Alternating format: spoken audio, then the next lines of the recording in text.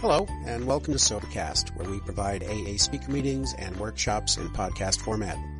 We're an ad-free podcast, and if you enjoy listening, please help us be self-supporting by visiting Sobercast.com, look for the donate link, and drop a dollar or two into our virtual basket. We hope you enjoy the podcast. Have a great day.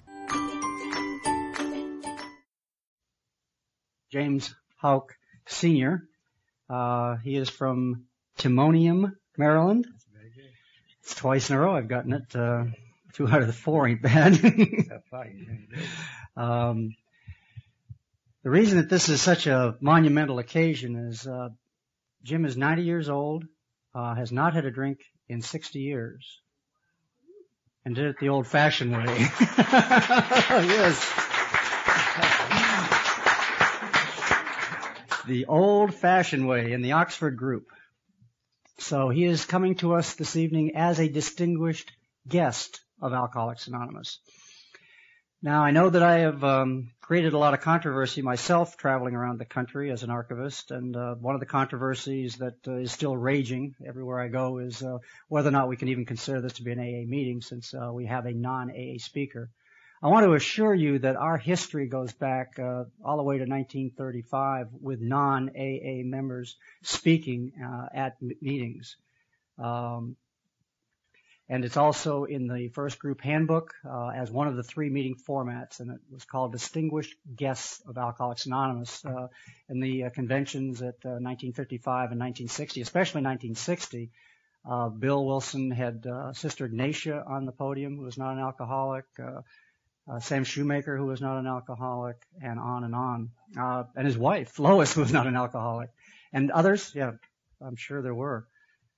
Um, so this is uh, an AA meeting, and we are uh, having this format as a distinguished guest of AA as our speaker. Uh, Jim has also come with a wealth of information. Uh, he has brought that we have included in the packets for the weekend this How to Listen to God, this four-page outline, uh, which uh, is one of the most uh, concise uh, uh, pieces of work that I've ever seen on how to make the conscious contact with God and how to uh,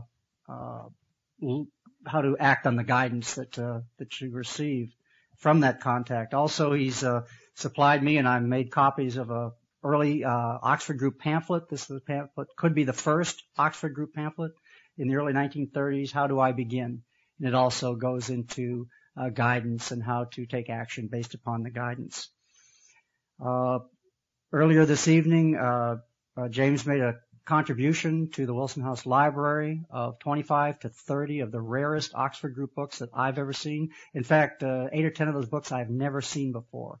A couple I've heard of and have never physically laid eyes on them and Jim has graciously uh, donated them uh, to the Wilson House Archives. Yes.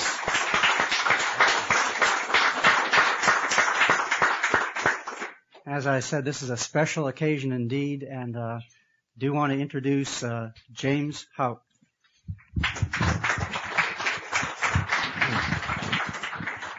How we do this now? That close? Well, thanks, Wally. I guess two weeks ago or so, I, I didn't think I'd be here tonight, but uh, I had a, uh, Chris uh, is instrumental in this, and uh, she told Wally uh, about my connection with the early Oxford group. And I get a call in from Tucson and uh, many calls, in fact, back and forth and this sort of thing. But uh, tonight I'm reminded of uh, I used to work for a company and uh, we were, it was back in the days we were putting in retirement plans and, uh, uh, in order for these plans to be effective, uh, every employee had to sign for them. And there was one old fellow by the name of Joe who said that he didn't understand the plan and he'd never signed anything he didn't understand. So he wouldn't sign the plan. Well, his fellow employees worked on Joe and, and the foreman and the department head, even the vice president came down uh, to uh, work on Joe. Uh, but Joe said no, he wouldn't sign because he, he, he didn't understand. So finally the big boss said, well, send Joe, I want to talk to him. So Joe went up and he said, Joe, they told me that you won't sign the plan. He said, that's right. Never sign anything I don't understand. the boss said, well, Joe, let me explain it to you this way. You either sign for the plan or you're fired. So Joe took the plan, signed it and handed it back. So the boss said, now Joe, why didn't you do that before? He said, no one exp- ever explained it exactly like that to me. so I don't know. Tonight I feel something like a mosquito in a nudist colony, not, uh, not, knowing exactly where to begin. Uh, and, uh, uh but, uh, we're going to just do more over the weekend. So, uh, uh, while I thought tonight we might just, deal with, with personalities involved in some of the early days of the Oxford group. Now, uh, it's, sometimes it's difficult to project ourselves back into the early day, but let's go back to a time when there was no AA movement. Uh, there was no Al-Anon. There was nothing, nothing like this at all. The thing we had then was the Oxford group. That's all there was. The Oxford group. And that's what Bill Wilson uh, came in contact with. It was the only thing up to that time that had ever changed Bill's life. He had a, a spiritual experience in his life, and and uh, uh, and it, out of that came the uh, genesis of the uh, of the AA movement. So I, I met Bill Wilson in 1935. Uh, I had met the Oxford Group in 1934. And uh, Bill Wilson was a stockbroker on the New York Stock Exchange, and I lived in Frederick, Maryland at that time. And Bill had friends over in Virginia, just across the Potomac River from us. And he used to come there for weekends to relax and it was horse country and he'd come down there with his friends and relax for the weekend. He heard we were having Oxford group meetings in the old Francis Scott Key Hotel in Frederick. So he would, he would come over Saturday night for those meetings. And the thing I remember most about Bill and, and maybe, maybe and maybe uh, the most outstanding, well, it's any question it was, he was absolutely obsessed with the idea of giving to every drunk that he he met the answer he had found in the Oxford group. And the, so the first thing he would always ask when he came in, are we going to have any drunks here tonight? And I said, well, Bill, I don't know. Them. I said, there some people that I guess that drink. I don't know if they could have it. Well, he said, if you do, I want to talk to them. I said, okay. So he, uh, but you, you have to remember too, at that time, uh, we were just coming out of a, of a, uh, prohibition days. you, you all don't know what was involved in that, but in 1918, while the men were away at the First World War, the women all got together and went to the, and went to the polls and they voted liquor out of the country. They voted prohibition in. And that lasted from then until 1933. so there was no bars. Uh, there was no taverns you could go to, no public drinking places at all. It was illegal. Uh, it was just like, it's just like drugs maybe today is that, uh, if you, if you wanted to drink, you you you had the opportunity to buy some rot gut stuff that was maybe made in the morning, and you drank in the afternoon or something. And uh, there was a lot of bathtub gin. Uh, used to make. Uh, I used to go to the University of Maryland on the weekends, and we used to make a. I've seen a, almost a half a bathtub full of gin. Uh, bathtub. They used to take uh, alcohol and and put uh, juniper juice with it and a lot of orange juice and that was it. Uh, it's only we didn't go blind, but that's what we that's what we drank in those days. Uh, if if you wanted to have a party, the parties were always in private homes. You either went into someone's uh, cellar or kitchen, pulled the blinds down, and that's where you you had your party. Lots of homebrew made in those days. I became a master at making homebrew. Uh, I remember uh, uh if you put uh, you put too much yeast in the brew, the he would blow the tops off of the bottles. And I remember it sounded like we were being bombarded one night when the, these tops came off and hit the bedroom floor. and uh, then, of course, you lost all the content of the thing. But th- those those were the conditions that, that we were drinking in in those days. So when I met Bill, we were just coming out of that.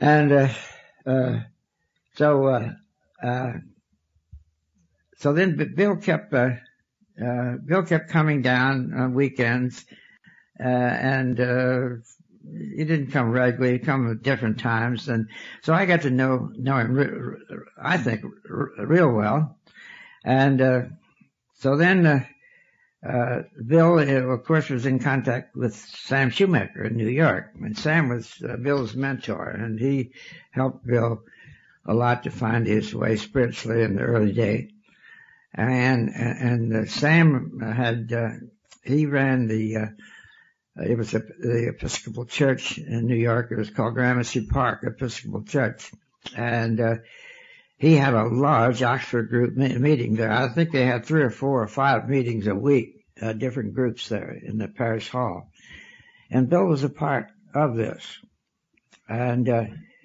uh, Bill got to the point where he wanted to just uh, uh, have meetings uh, in the parish hall just for alcoholics. Of course, he they said no, you couldn't do that, but Bill went ahead and had a couple anyhow. Uh, uh, this is this is Bill. Uh, so they they pulled rank on Bill and, and said that he couldn't have any more meetings there. And then he took the meetings out uh, after that. So it was in this this framework I guess it was 1938. Uh, Bill went to Frank Buchman, and Frank Buchman was uh, the initiator and the guiding light in the Oxford group. And of course, Sam was in every everyone that was in the work was in was in the Oxford group. There's no AA program, so so Bill went to Frank and said that he wanted to give full time. He thought to just dealing with alcoholics. And this has always been in Bill's mind. I can, I can see that now. It was always that concept. He always wanted to deal with the alcoholic. So Frank said, uh, Bill, he said, if that's the biggest thing you see for your life, go and do it. But he said, remember, we're dealing with alcoholic nations. in quotation, that means uh, people, uh, nations, people drunk with power, sex, materialism, and, every other thing. He said that is our mission in life to change change things.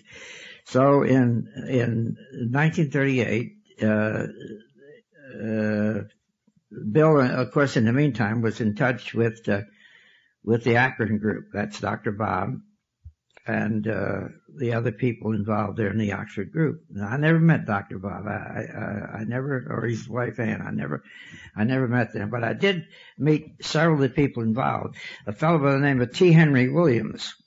Now, T. Henry Williams was a, he was a mechanical engineer, and he developed the the machinery for retreading of automobile tires. And, and of course, in 1930, retreading tires was a big thing then. And of course, uh, that put him in touch with fellows like Firestone and Seiberling and other tar, Henry Ford, and all that sort of, uh, that group of people. And, uh, uh so there was, there was, uh, Bill and, uh, Dr. Bob used to meet in T. Henry's house and they meet, they, meet, they met in Henry, Henrietta Seiberling's home. She had an apartment there and uh, she was always holding meetings in her, in her home, and uh, so uh, there was always a controversy, a controversy developed where AA started. Uh, Henrietta Seiberling said it started in her apartment when, when, when Bill and Dr. Bob sat down to plan this thing.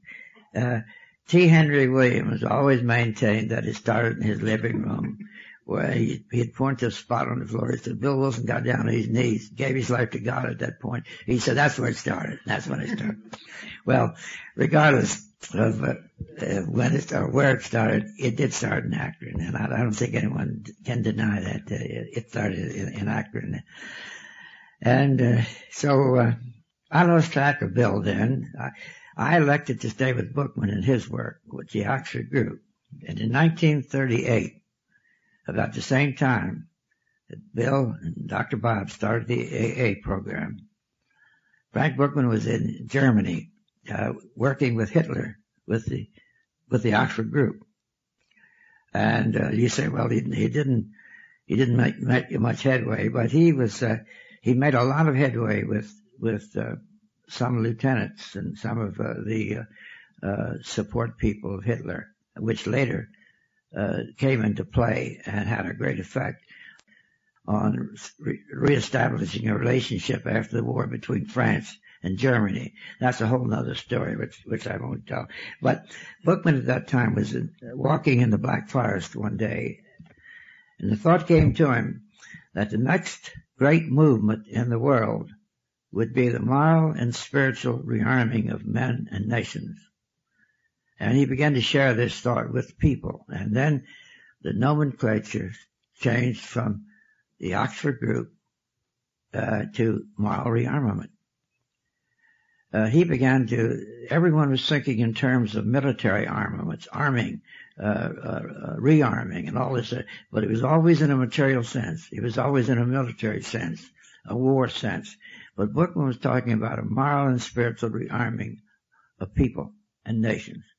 And that's what he began to talk about. And in 1939, the, the movement of moral rearmament was, was, was launched and the work of the Oxford, group then became moral rearmament. And I elected to stay with, with that group because, uh, uh, my problem wasn't, uh, I wasn't a compulsory drinker. I drank to have fun and, and have, be the life of the party and all this sort of thing. Uh, but uh, many people drink from fear uh, because they don't want to be antisocial or considered antisocial if they're offered a drink. And uh, often people drink from the problems that are that are never solved in their in their in their life. So these problems continue to drive the person back to drink. So it's a constant thing. Uh, so, but I, I elected to stay with the Buchman, and uh, I've I've continued to do that. I was on the national board of directors until recently. I became 90, and I thought that was time for me to quit, and I quit. and no one got down on their knees and pleaded for me to stay on the board. Uh, so I thought the decision on that basis was was was good. So I lost track of Bill at, at that time, and uh, so because I was giving my my full uh, support and everything to the, the moral rearmament. Uh, but I'd like to go back and talk a little bit about some of the other people involved in the personalities. One is Sam Shoemaker. Sam Shoemaker was, uh, he was, uh, I don't think he was the greatest life changer that I ever saw, but, uh, he was one of the he was one of the best. Uh, now you have to remember that the, the, the what, you say what did the Oxford group have to offer you? What what was it? If it wasn't didn't talk about alcohol, what did they talk about? The Oxford group was basically a uh, an evangelistic movement. That is, uh, it was a, we had a tremendous amount of people come from the from the churches who had never found uh, an experience of Christ or God in their life, and this was not a it was not a uh, hallelujah praise the Lord type of thing. It was a, it was not a sanctimonious group. It was a very uh, practical, honest, laughable. We had a lot of fun at these meetings. People telling uh, funny stories about themselves of, of how uh, what they had done and how God had brought something new into their life. But this was the atmosphere that you got. Uh, uh, Sam uh, was very direct. Uh, for instance, if uh, if you would go home from a meeting uh, like we have here, we're going to have here over the weekend, the first thing Sam would say to you, "What did you see new for yourself you hadn't seen before?" He was always looking for that next step in a person's life. There was no, he always used to say that you're either, there's no middle ground. You're either part of the disease or you're part of the cure. Uh, you, have to, and you, you elect every day whether you're going to be part of the disease in, in the world or, or you're going to be, live, live the cure. And, and so Sam was always, always trying to get uh, people to, um, uh, to see new steps for you. I remember he used to come to my, our home in Frederick and uh, we were just raising a family then. And he would say to my wife, uh, I presume uh, you, are changing people every day. Oh yes, she said, some of them I change twice a day. And, and, uh, and uh, he said, I don't mean the babies. He said, I, I mean, he says, uh, he said, so I remember uh, Sam had a home down in Baltimore, and uh, when he retired, he came there to live. So uh, I'm a member of the Methodist Church, so we asked Sam to come in and, as a guest speaker one day. So uh, he came in, and uh, Sam had a habit of uh, when sermon was over, he always went to the door, and, I, and some of you may have his book. His wife wrote a book. Helen wrote a book that, called "He Stands at the Door," and this is Sam's technique. He always it was his way of personalizing his sermon. He always he didn't say "How are you doing? It's a nice day," and he always said something very pertinent, very deep to these people. And when he was he just finished his sermon there on that day and he was out standing at the door and one of our little old ladies went out and she said, Dr. Shoemaker, she said, I, I, I want to tell you how much I enjoyed your sermon today. He said, in a very gruff voice, said, you're not supposed to enjoy it. You're supposed to get out there and do something about it.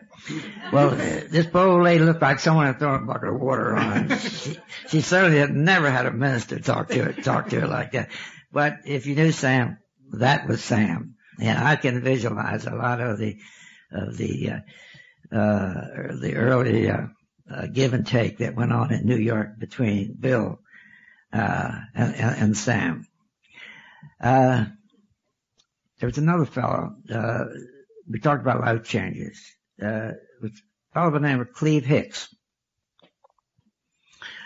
Uh, I guess Cleve, in Oxford group days, he was the greatest life changer that I've ever seen in my life. In those days, we had uh, in hotels. We uh, we had elevator boys running the elevators. You didn't you didn't have a push button type of thing then. And I've been on elevators that that we go and go to the fourth or fifth floor, and and this fellow Hicks was talking to the elevator boy about the deepest things in his life and not in a sanctimonious way at all, but a very practical down there. He knew just how to go into a fellow's life and what to say. So I, I said to a friend of mine, I said, you know, this guy is a great life changer. Uh, but he's he's a nice jovial fellow. He has a good personality. And I said uh, he likes people. And I said uh, he's a natural life changer. But my friend said, yeah, but he wasn't like that always. He said I was his roommate in in prep school, and he said he was the most disliked guy on the campus. He said he was arrogant, he was, he was selfish, he was self-centered. He said it was only when God came into his life through the Oxford group he, they changed it and tremendous change came. This guy that lived, he, he, he was full-time volunteer with, with Buchman, no pay. He lived out of a suitcase. In those days, Buchman had a mobile force of between 150 and 200 young, unmarried people, uh, mostly men. Very few uh, women in the group then, uh, uh, in this mobile group. But that group was was so geared that at the drop of a hat, he could move them into a trouble spot in the world tomorrow.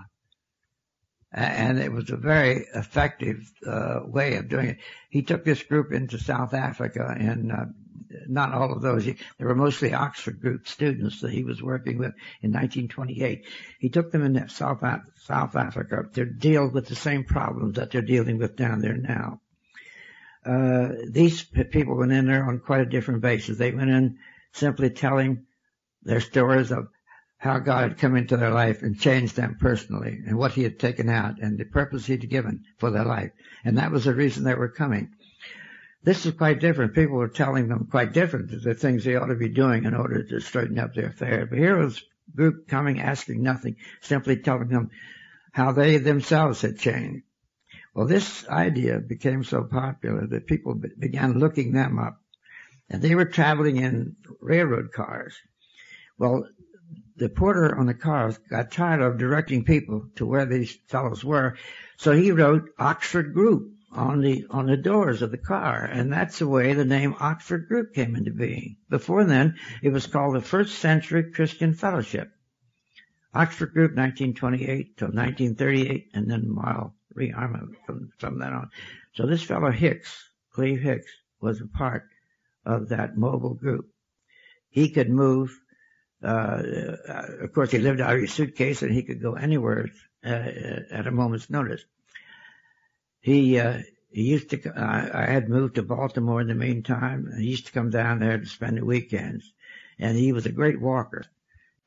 He used to walk, but near the end, he he just wanted to sit in a chair. 45 years old, this guy was. 45 years. He just wanted to rest. He died shortly after that heart attack because he just gave himself. And that's the way many of these people gave them, themselves.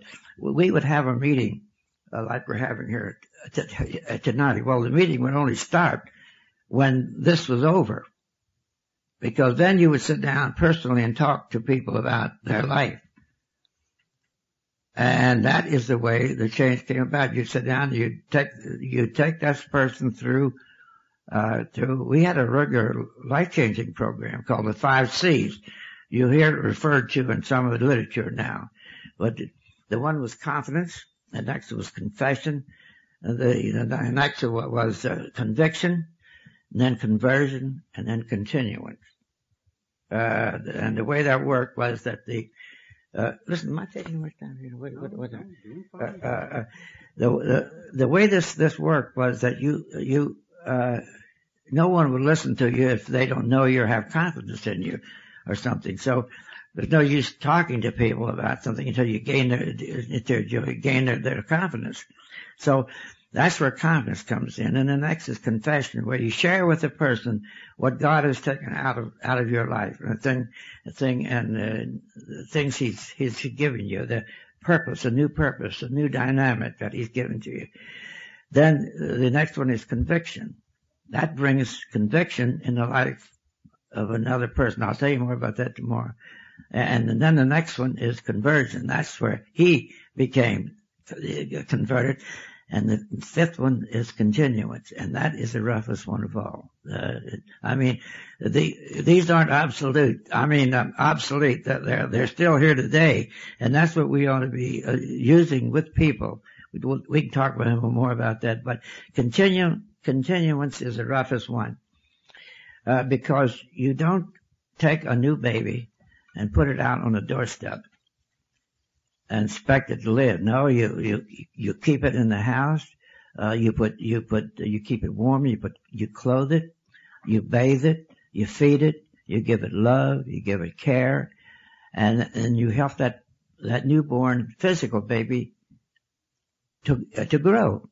And that's the same thing that happens or should happen in a spiritual life. It's when a person makes a decision uh, they're going to need they're going to need fellowship. They're going to need Bible study. They're going to need prayer. Uh, they're going to need love, care, devotion, and all that sort of thing that you as a person can give them. And that is a problem because many people don't want to go through this this deal. Now, uh, uh, I lost my train of thought here for for, for, for a moment. Uh, but uh, unless we can unless we can do this, that person uh, sort of dies on the vine. Now, I'll tell you how this works practically. Uh, you take a fellow like uh, uh, Billy Graham the, or any of the evangelists. They go and they have a meeting. Hundreds of people come up there. Uh, they, they hear something inspired. They want to find something new. They want to make a new start in their life, and they come up and and Billy Graham knows that possibly that's the last time he'll see those people because he can't stay in that town and continue that process of helping him to grow in their spiritually. So then where did they come from, these people? Most of them came from local churches. Well, where do they go back to then? They go back to the local churches. Well, if they weren't finding something new in the churches then, uh, that they found here, what are they going, how are they going to Who's going to support this new decision in their life as they go back? See, because other people don't know about this. That's the reason the fifth C is is so is so very very difficult. Uh, and uh, uh, but but those are the uh, that is that's what we were taught as a procedure, and uh, we used to have a saying that if you're not winning, you're sinning. Uh, and, and uh, I think that could be interpreted too in, in our in our in our AA program. I'm just telling you how it was back then. Now you have to relate how it is now. You see the deal. Uh, but but my experience is is I'm going to. You see, I have access. I go to. Uh, maybe I'm uh, uh, uh more gift. Uh, uh, I'm I'm given. I'm given better advantages, let's say, than, than you all maybe. Because see, I, in my capacity, what, what do you call me? Distinguished. Uh. I have access to NAs. I go to uh, GAs, and I go to 12-step programs, and you won't believe what they're doing in some of these 12-step programs uh, I went to a 12 step program, you know, and uh, they asked me to come in as a speaker. So, uh, they said that they have a, the way they start, they go around the room and say, what are you abstaining from? So when they come to me, I said, I'm abstaining from everything. uh, and, uh, so I have advantage, you see, of, of, of, of, of, of seeing how the, all the others, uh, others operate here. And, uh, uh, so, uh, uh, let me see once, uh, uh, I have to, have to think what I was, what, what I was going to, I was going to say to you here. Uh, put me on the track here. What was I talking about here? Right, making the transition to the uh, continuance uh, in the oh, oh, oh, yeah, yeah. Well, uh, well, so, uh, uh, so the, uh, the, uh, Uh, what,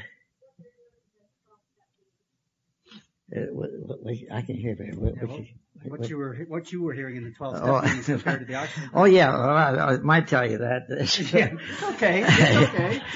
Uh, uh, yeah, the one, so I was amazed, you know, because coming out of the Oxford group, you know, this, one woman said that she was abstaining from a bad temper. Uh, and another one was overeating. And one of them was even abstaining from tight clothes. She had a tendency to wear tight clothes to attract people's attention. So she had a conviction that was wrong, and uh, so they wanted to get away from that. So they were they were uh, abstaining from uh, from from from everything. Uh, uh, but uh, uh, let me go back to the Sam Shoemaker and the and the fifth step. I was with Sam one at an Easter service one time in the National Cathedral in Washington.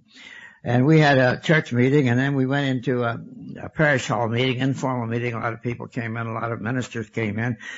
So one of the ministers there said uh, in an informal gathering, he said, Dr. Shoemaker, he said, uh, why don't you insist that your converts, as he called them, go back into their churches and Sam said, well, I wasn't conscious that we weren't sending them back in the churches, but he said, from a realistic standpoint, he said, you have to understand that sometimes it's like putting a live chicken under a dead hen. and this minister said, yes, he said, uh, he said, uh, I, he said, uh, I, I see what you mean. Uh, you, you, see, uh, uh, most people in churches, and I think it, it's, uh, it's, uh, I see it in the AA program too, is that most people never get beyond the point or never get beyond the experience of their own conversion. Now, what I mean by that is that their conversion is good, it's meaningful, there's nothing wrong with the thing. But their conversion doesn't become multiplied into the life of another person. There's no evangelistic out- outreach. 90% of the people that I see in AA meetings around my area are, they go to keep sober only. They, they, there's no outreach. There's no personal outreach of, of them into the life of, of, of other people. Uh, uh, did I tell you about the uh, Sam, about the Bill and the uh, the converts he had when he first started when he went out? No, not yet. Bill Bill worked with about fifty uh, alcoholics for about six months when he when he first went on his own with the AA movement. And at the end of six months, there wasn't one of those people any different. and and and he was very discouraged. He was going to quit. but Lois said, look, Sam, said, you got to remember, I mean, uh, Bill, look, uh, Bill, he said, you got to remember that not once during those six months did you yourself want to drink. And he said, you're right. So responsibility for other people became the keynote and still is today of the AA movement. In the, my experience in the early AA movement is that these people were so fervent. They would go any time of the day or night, no matter if someone was in need, they would go and, and, and help that. But I don't see that happening now. I don't hear of it happening. Maybe it is, but I don't hear of this, this thing. But, uh, but, uh, it was that, it was that outreach for people that was a carryover from, from the, the, the, uh, the, the Oxford group. Now, uh, I, have been in this thing since 1935, as I told you, and I see I see lots of changes, uh, both in the, in the rearmament program and in the AA program. In the moral rearmament program, when we switched from the Oxford group to moral rearmament, uh, the emphasis then it was still an evangelistic movement, but basically we were we were we were uh, dealing with uh, with the with the needs of people. That, that is, it became uh, what they termed an ideology, uh, uh, where you were dealing with the, the, the, people, with the cause and effect, dealing with the people who caused a certain thing to bring about a, another effect. Buchman's idea was always new men, new nations, a new world. He never varied from that. He used to say that everyone wants to see the other fellow different. And every nation wants to see the other nation different. But everyone and every nation is waiting for the other fellow and the other nation to begin. That if you want an answer in the world, in the world today, the best place to start is with yourself and with your own uh, nation.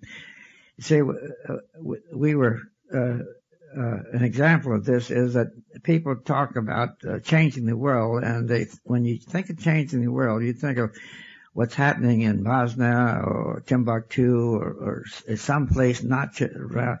But what is your world? Your world are the people that you contact, the people that you touch. That is your world.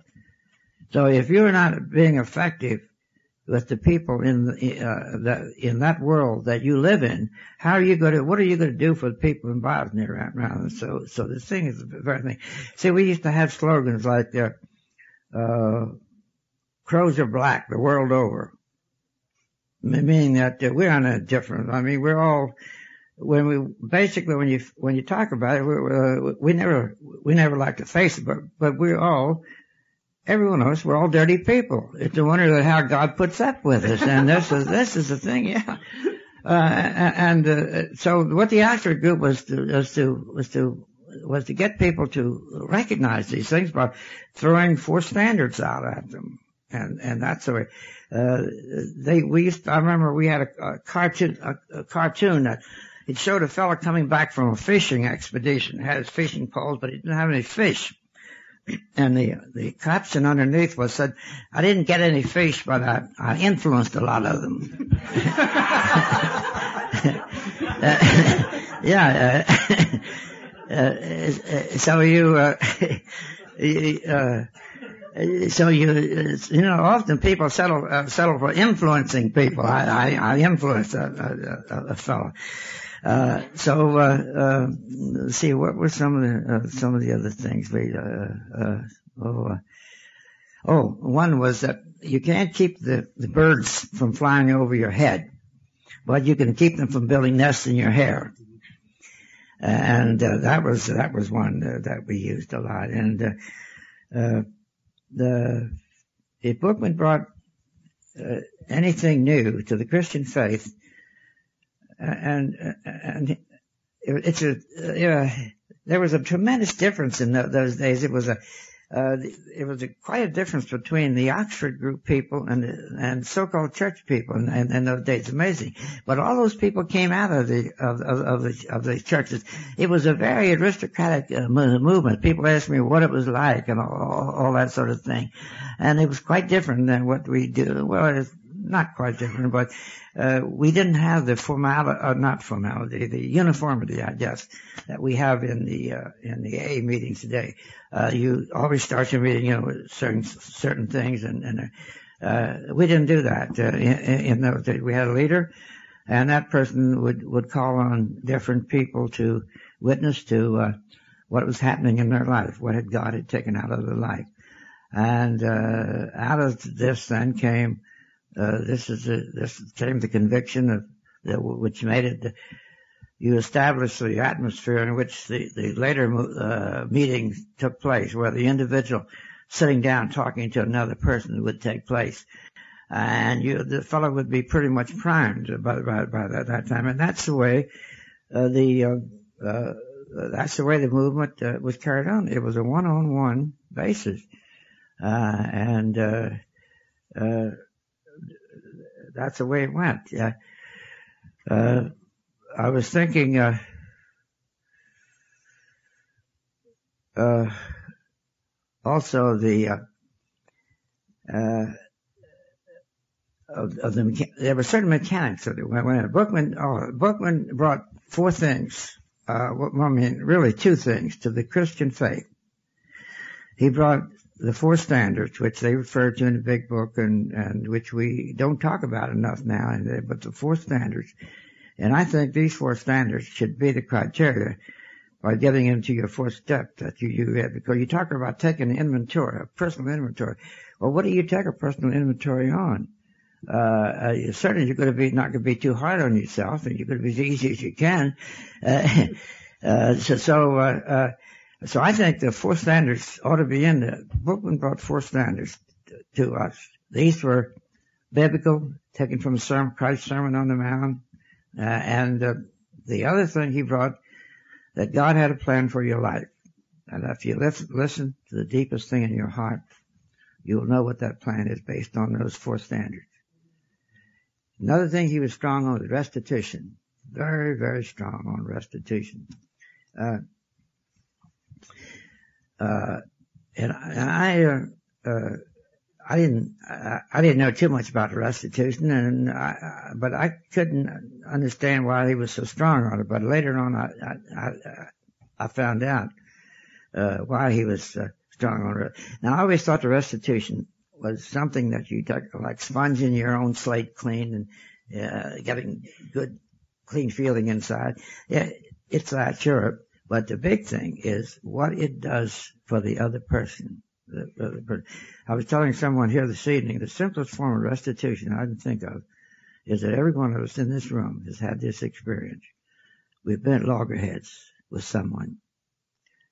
And we've gone back to that person and said, look, so and so, I, I'm sorry what I said to you the other day. I really didn't mean that. Invariably, this person will say, uh, well, look, it wasn't all your fault.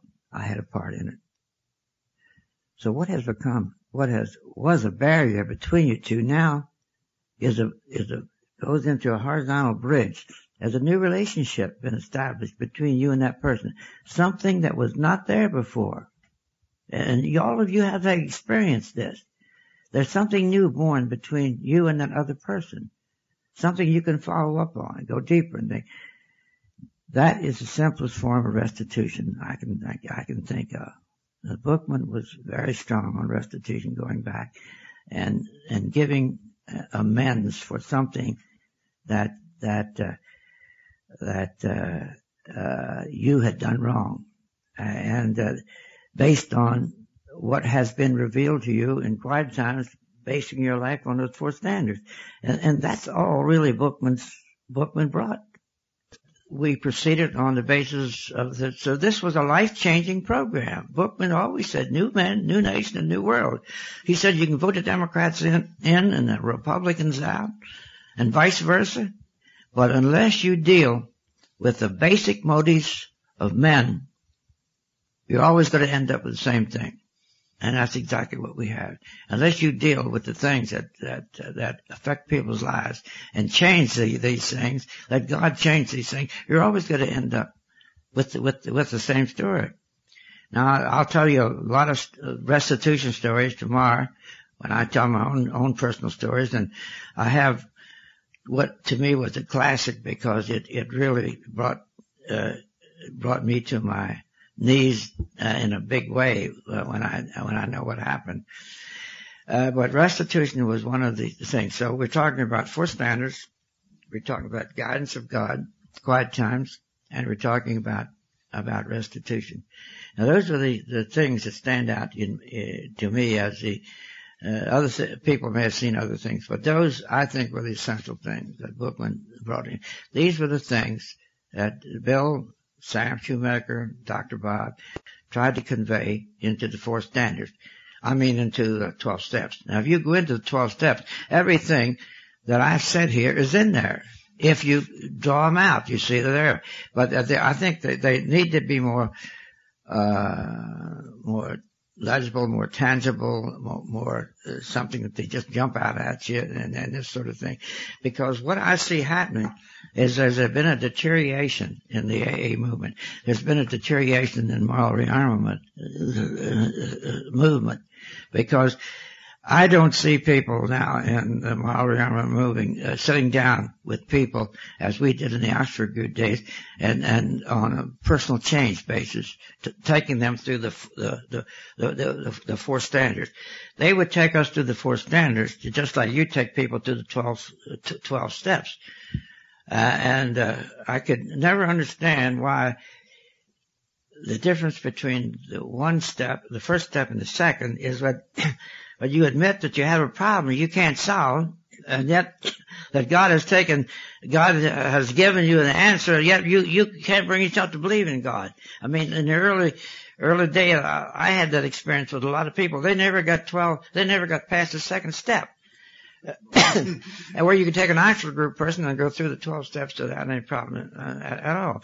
But, but, but I, uh, but what I'm afraid of now, and I've shared this with the with the hierarchy of the of the moral rearmament movement, is that people come into a meeting like this, and uh, they go away as a fisherman. They go away influenced, and the first thing you know, they, they are on the fringes of the moral rearmament movement. They're they're they're coming into meetings, and they're they're they're, uh, they're but they've never made that basic decision in their life but they are consider themselves a part of the of the of the uh, of the uh, of the MRA uh, program.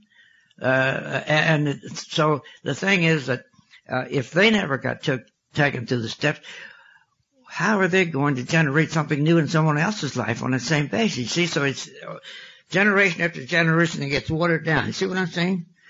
And I think that that, that, that could be happening in, in the AA movement too. We could be, we could be selling our heritage for a mess of porridge, as I, as I like to put it. It is, is that we, we, we're selling the thing cheap. See, our program is not to get people into AA movement. Our program is to get God in charge of people's lives. That's what we want to do, you see. Uh, and so many times we try to get people in churches or into a movement or something uh, with, without getting the principle of that movement or the thing in, into the motivating force of that person. And uh, so uh, I don't know. Well, I talked a lot here. I have a habit of being. They said I have a habit of uh, of having a diarrhea in the mouth and a constipation of ideas. Yeah. Uh, so, but yeah, I don't know if anyone has any question uh, from. Uh, this, I'd be very happy to answer anything I could. Yeah. What are the four standards? The four standards. Oh, did oh, did I miss that? You, I, you know, uh, uh, uh, four standards is, is one is absolute honesty. The next one is absolute purity. The next one is absolute love, and the next one is absolute unselfishness. No, no Softness is the third. I'm sorry. Love is the last. those are the four. Now, when I met this group, I uh, see I didn't have any problem with with honesty at all. That wasn't a problem. My problem's with the absolute part of honesty. You see, and that's that's where that's where that's where I I, I, I hit the I hit the skids, you know.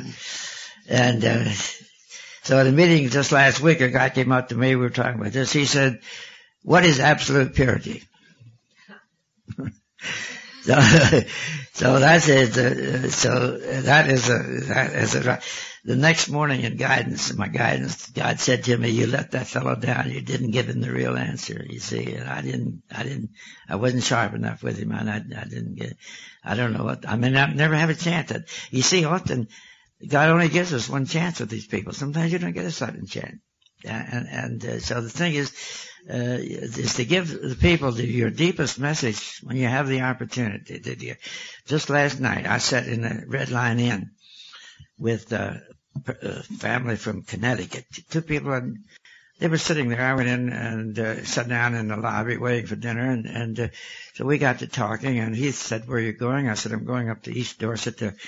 uh, to Bill Wilson's birthplace. And I said, do you, you know Bill Wilson? Uh, are you here, Bill? The fellow who started the AA movement? Yeah, I said, I've heard of it and everything. So I said, well, let me tell you some, some story about Bill. So I start with Bill Wilson, and the first thing you know, I'm into my personal story with, with him, you see, and, and, uh, and they were, uh, they were absolutely fascinated with the stories and the things I told them. So I guess I influenced them, I think, last night. I didn't change anything think last night, I, I don't think, but, but no one made a decision with me, but I, I did influence them a deal. Uh, does that answer the question? Yes, I also now wonder if you uh, do have a definition for absolute purity. Well, uh, uh, Definition for absolute purity. uh, let me, uh, I think Susan Wesley gave the best definition. I guess she was telling her, you see, it's another, I, I have mentioned, a word that we never hear a lot about now is sin. You see, I never hear that, that word anymore, sin. Uh, you see, it's made up of three, S-I-N.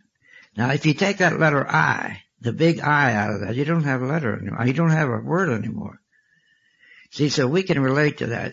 Uh, to, to, how to how to take that out of the thing. So uh, Susan said to John, I, I don't. I mean, this is not uh, verbatim, but uh, she, she said that she, she was giving a definition of sin, which is the opposite, the opposite, uh, the opposite of uh, absolute purity.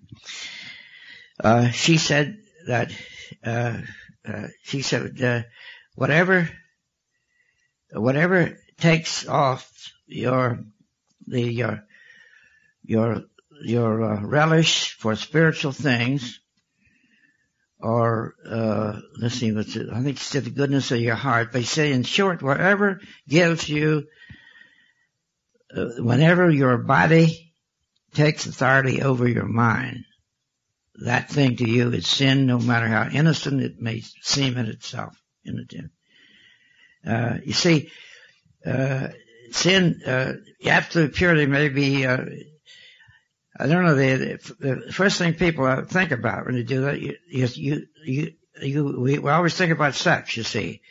Well, absolute purity means different for a single person, uh, than it does for, for, for, for a married person. Uh, now, uh, the Bible is very clear on that. You, you, there's, you, single person is abstinence and which is very difficult for people right now with with all of the uh, mechanical means of protection and all and all, and all this thing. But but but uh, uh, purity goes much beyond that. It's your it's the things you think and say and do. Uh, and uh, uh, I told this fellow, I said, if you if you could uh, could you share these things with your mother? And I was trying to bring something practical in, into his life, but I know that uh, that uh, that uh, that this was his problem. But this is this is a place where uh, God comes into your life, and often it is impossible to abstain from uh, acts of impurity, and and but God, Christ can give you the power for that. And if you go deeper in the thing, he he uh, he gives us this power. It's uh, it, it's it's it's more than that. It's a it's the purity of our of our thinking, of our relationship, uh, our hates and our greeds, and uh, uh, there are many many things involved in in in absolute purity, and it's hard to give uh, definite uh, definite uh, uh, criteria for it. But this is where guidance comes. This is where quiet times comes in. This is a relationship with God comes in. Now, uh, all through the Bible, there's story, uh, their example after example, uh, all the scriptures refer to God speaking to people, God talking to people.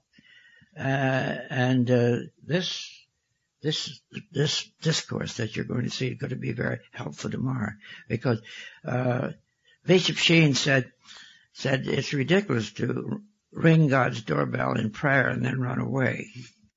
Uh, uh, used to say you should write the thoughts down that come. He used to say that the uh, strongest memory is weaker than the palest ink. And uh, it's just a practical reason for writing thoughts down so that your mind is ready for the next one. And also you can check these off at the end of the day to see if you've followed all the thoughts. Uh, but the big thing is to have a sharing partner where you share these thoughts with. I think you call them sponsors, don't you? And uh, where, where, you can, uh, uh, because uh, these are important things that you interpret these things right in your life, and and and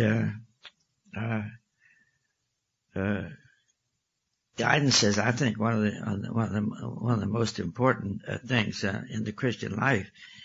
Uh, uh, you see, so many people, to me, think that God, our life is like a chessboard, and we pray for something. And God said, okay, uh, you've been a good fellow. I'll, I'll, do that. So he moves that chess people, person around, and moves that, uh, that, uh, peace, they call it, a piece into a position that, that uh, God doesn't operate the like that. God operates through our lives. He uses our lives to touch other people. We're the instruments He uses. We say, make us an instrument of yours. Well, uh, uh, I, I, don't think we know what we're talking about when we say that because it, we, He's trying to make us instruments and He wants to talk to us. He wants, uh, uh, Henry, Henry Drummond, uh, was a great theologian. He died in uh, 1891, I think. Uh, uh, very concise person. He wrote a number of essays or sermons, and, and he talks about God's plan for our life in there. And he, that's way back in the 1800s he was talking about, about this. He was just, he said, just think that, that, that God, the importance of this, he said, God has a plan for your life. It isn't for anyone else your life and yours only. And that you, that God can talk to you and he doesn't, his, his whispers are not for anyone else, but just for you. And the things that he wants you to do, the things he has for you to do. And the only way you're going to know that is listen for this. And it's, to me, it's a very practical uh, way. Uh, I, I, when I, talked to me about listening, first I said I thought they were crazy. Uh, I didn't uh, I didn't know how God could could could uh, uh, uh could uh, talk to me, but I uh, so they had what they called a quiet time, and uh, so they had a movie they were going to show at this mo- this, meeting I was to, and they couldn't get the movie to, to get started. So he said, well, we're going to have, a, we're going to have the meeting and then we'll go back and have a quiet time. And so we had the meeting, then we had the quiet time. And this fellow who was running a movie, he said after the quiet time, he said, I just had guidance. He said, what was wrong with the movie? And he went over and pressed a button and it went right off. And I said, oh man.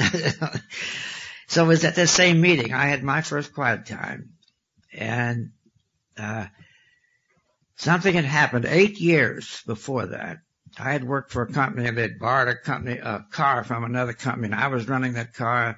I, I went down to the University of Maryland one Saturday afternoon to a football game, got drunk on the way down, hit another car, didn't stop, came back, and I, I, I fixed my car up and lied out of it. I got the fellow who ran the garage to say I'd never had a car out, and the thing was smoothed over. I never would have thought of that humanly. I'll guarantee you, I never would have thought of that. That was the first thing that came into my mind was to go back and restore for that car, a restitution. And uh, so some things you can't restore for, but there are many things that we can. And when that restitution is the thing that opens the door for, for other, so I went back and, and straightened up for that. But, uh, that didn't change a whole lot of lives, but the thing it did change my life, I'll guarantee you, because it made a Christian quotation out of me as far as guidance was concerned. Because then I realized there was something to this guidance, and that uh, God could speak to you if you would let Him. And uh, uh, all the Bible's full of references to God speaking to people and listen, God listening. But uh, I don't know, it never, it never came into into being until Buchman made it a made it a policy. And this is, he said, we ought to be listening. You know, there was a, there was, I used to be a cartoon we had, had a person with big ears said you have, you have two ears and one mouth, so you ought to listen twice as much as you talk. So I'm going to do that. okay. Is that it? All right.